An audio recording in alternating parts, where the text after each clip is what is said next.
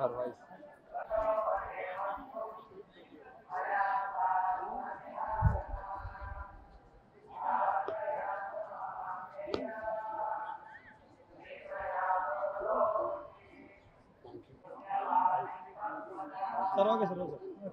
ఈరోజు శ్రీ శ్రీ శ్రీ వెంకటేశ్వర స్వామి వారి దర్శనం కోసం తిరుపతి రావటం జరిగింది.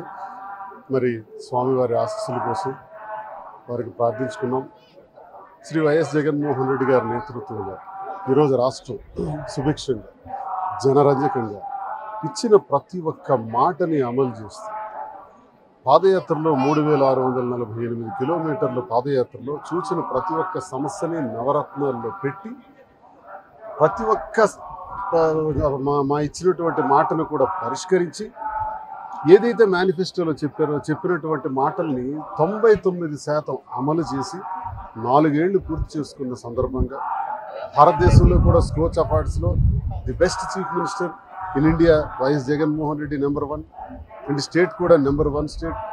Is of డూయింగ్లో కూడా రెండు సార్లు బా ఆంధ్రప్రదేశ్కి పేరు ప్రఖ్యాతులు తెచ్చిన జగనన్న పోర్టులు కానీ ఎయిర్పోర్ట్లు కానీ అన్ని రకాలుగా కూడా ఏ పారిశ్రామికంగా కూడా అభివృద్ధి చేసి ఒకవైపు సంక్షేమం ఒకవైపు అభివృద్ధి అన్ని రంగాల్లో యువతకి ఉద్యోగాలు ప్రతి గ్రామంలో కూడా ప్రతి యాభై ఏళ్ళకి ఒక సచివాలయ వ్యవస్థ వాలంటీర్ వ్యవస్థ వీటన్నిటి ద్వారా పరిపాలన ప్రభ జనరంజకంగా చేస్తున్నటువంటి సందర్భంలో మళ్ళీ జగనన్ననే గెలిపించాలి. ఇంతవరకు చాలా పార్టీలు చాలా ప్రభుత్వాలు మేనిఫెస్టోలు విడుదల చేశాయి. మేనిఫెస్టో అంటే ఏంటో కూడా ప్రజలకు తెలియదు. మేనిఫెస్టో చూస్తే ఒక పెద్ద పుస్తకంలా ఉండేది. కానీ జగన్ నాలుగు పేజీలతో మేనిఫెస్టో విడుదల చేశారు. నాలుగు పేజీల మేనిఫెస్టో ఐదు కోట్ల మంది ప్రజలు కూడా పాకెట్లో పెట్టుకొని చూసుకోవచ్చు.